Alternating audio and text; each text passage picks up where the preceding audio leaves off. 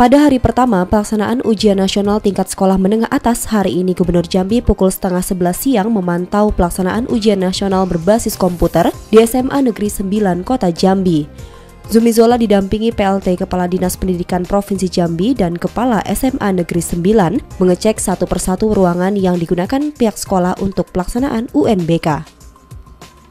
Gubernur Zola tidak masuk ke dalam ruangan kelas namun hanya melihat dari jendela tanpa sepengetahuan peserta ujian.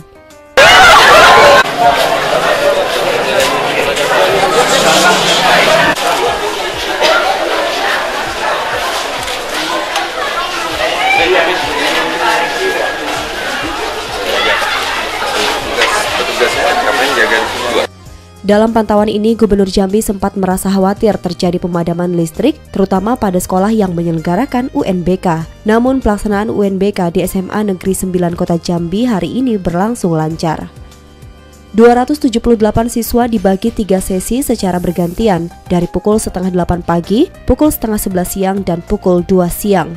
Pada kesempatan tersebut, Gubernur Zola juga melakukan penandatanganan prasasti tugu sekolah.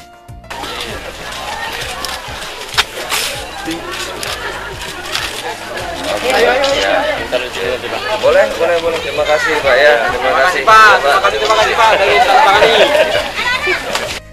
Kepala SMA Negeri 9 Kota Jambi Anwar mengatakan, UNBK kali ini merupakan kedua kalinya yang dilaksanakan SMA Negeri 9. Pihaknya telah mempersiapkan terkait pelaksanaan UNBK sejak lama, mulai dari kelengkapan komputer, jaringan internet, dan ketersediaan listrik. Kami berharap bahwa ujian ini adalah kesuksesan anak kita semua. Uh, sukses SMA 9 malah sukses adalah sukses uh, Provinsi Jambi dan Kota Jambi pada umumnya.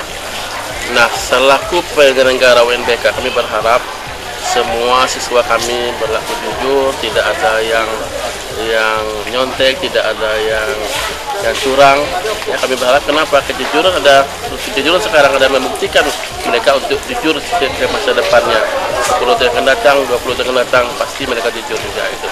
Nah hasil ini kami harapkan supaya siswa ini bisa mampu bersaing di tingkat eh, perguruan tinggi, ya perguruan tinggi. Saya bisa harap kami berharap supaya anak-anak kami bisa masuk perguruan tinggi yang mereka favoritkan, yang mereka inginkan. Gubernur Jambi Zumi Zola berharap pelaksanaan ujian nasional khususnya UNBK dapat berjalan lancar. Permasalahan pemadaman listrik dan ketersediaan jaringan internet dapat teratasi hingga pelaksanaan UNBK berakhir. Tentu kita berharap, Alhamdulillah kemarin uh, UN untuk SMK berjalan dengan lancar. Ya, dan juga harapannya sama dengan UN SMA ini hasilnya bagus, ya anak-anak nanti lulus uh, dengan baik ya.